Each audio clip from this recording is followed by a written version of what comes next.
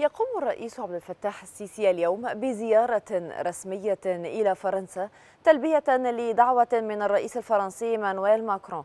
وصرح المتحدث باسم رئاسة الجمهورية السفير بسام راضي بأن الزيارة تأتي في إطار حرص الجانبين على تنمية العلاقات الاستراتيجية والتي تجمع بين البلدين وبحث سبل تعزيزها خلال الفترة القادمة حيث ستشمل عقد مباحثات قمة بين الرئيس عبد الفتاح السيسي والرئيس الفرنسي تأكيد ماكرون.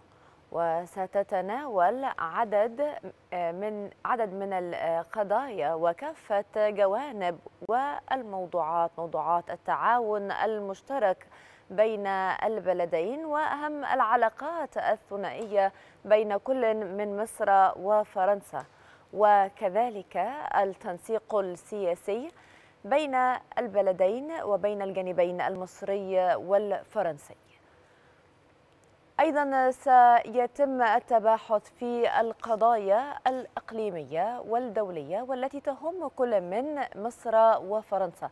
هذا كما أوضح المتحدث الرسمي أنه من الهام جدا ومن المقرر أن تتضمن هذه الزيارة. كذلك لقاءات مع كل من رئيس الوزراء الفرنسي وأيضا عدد من الوزراء الفرنسيين.